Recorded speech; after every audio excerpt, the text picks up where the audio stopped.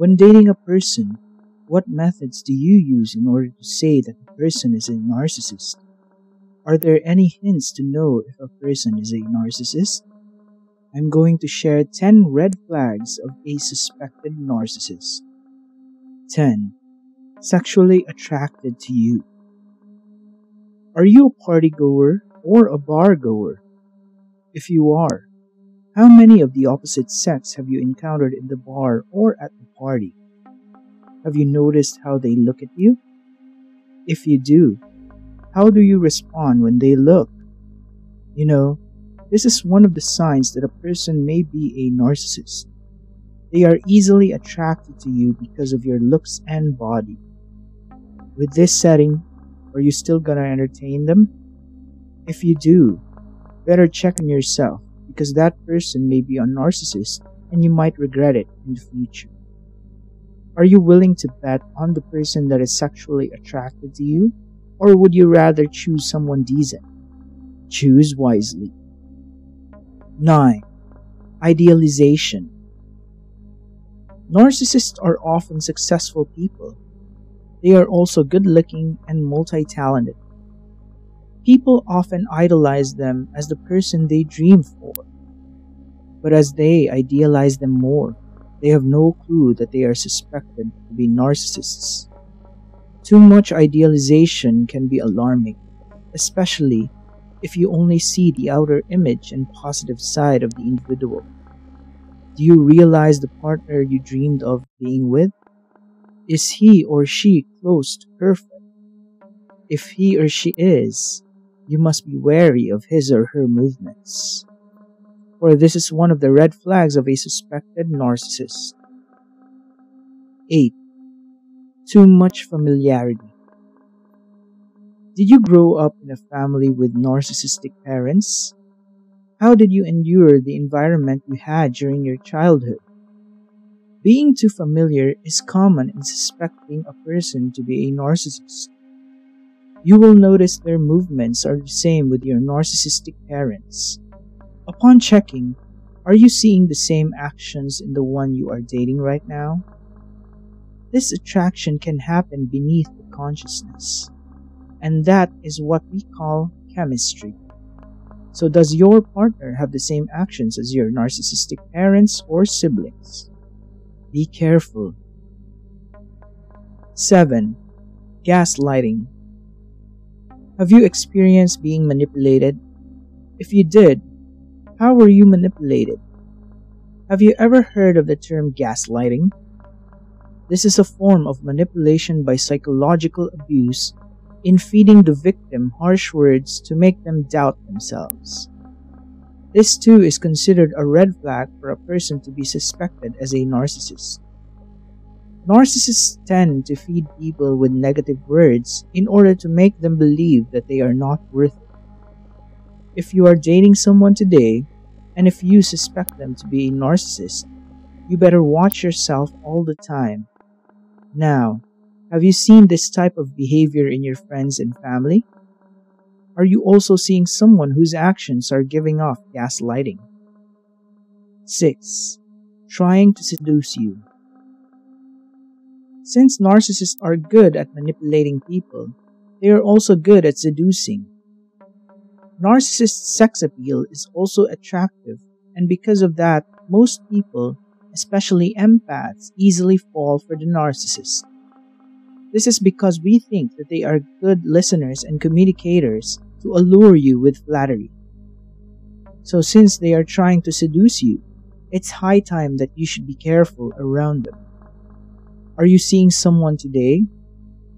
Is he or she good at seducing you to make you do something you don't want?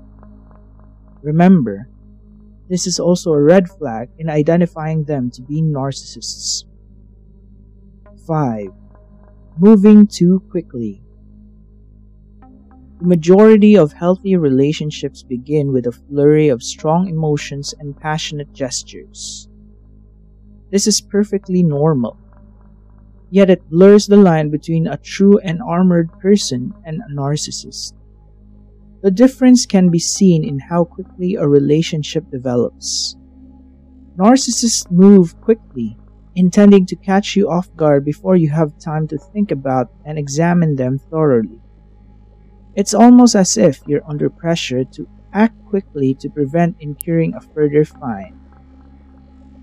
When you exert pressure and move at breakneck speed, you barely have time to think. During the first several months, keep a lookout for anyone who suggests marriage or love. Are you noticing the movements of your partner or friends moving too quickly? 4. They don't have close friends. The bulk of narcissists do not have any active, meaningful friendships. They might have a few old friends or casual acquaintances with whom they get together on occasion. True friends, on the other hand, are outside the narcissist's comfort zone. Their inability to keep the mask on for an extended amount of time is the reason for this. Friendship entails both giving and receiving, and the narcissist only knows how to receive. You'll notice that the person doesn't have any close friends because they are too secretive to open up to anyone. So, does your partner have any close friends who you can say that they trusted? If there's none, they are proven to be a narcissist. 3. Giving the What Are We dance. In most partnerships, you get to a point where you are ready to declare your independence. You can refer to yourselves as boyfriend and girlfriend, lovers, companions, or whatever you wish. A narcissist may want you to act like your partner, demand sexual exclusivity, for example, but they're afraid of missing out on someone who can give them more of what they want. If your partner tells you that you're the one, but refuses to make the relationship official or postpones your coming out jointly, this is a red flag. Have you tried asking the statement, What are we? and they gave you the cold shoulder? That is because they do not want commitment. 2 little to no sense of humor. While it's fine to open up to your new love interest about your flaws and fantasize about the future, be skeptical if they can't joke about their own and yours. Common experiences of things going wrong, such as previous relationships, the unexpected, or plain discomfort, are used to create jokes. Who can you confide in if you can't express your feelings to your partner? A narcissist, on the other hand, is uninterested in seeing yours or their flaws. They're perfect, and they expect the same from you. It's time to consider why you're not laughing in your relationship. 1. They really need you. It's great to feel needed, especially if you're an empathetic person, the narcissist ideal spouse. But be aware if you feel you're being exploited to improve the other person's self esteem.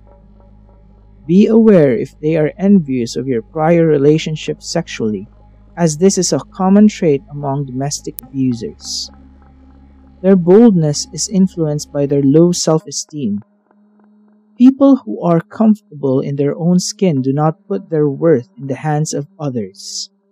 Self assurance is a mental state. Remember, they only need you because they don't have anyone to manipulate other than you. So, have you figured out what type of person you are dating? Can you say that he or she is a narcissist?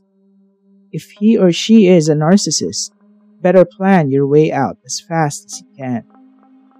What aspects of narcissistic relationship interest you the most? Do you have topics you want us to cover? Tell us in the comments below.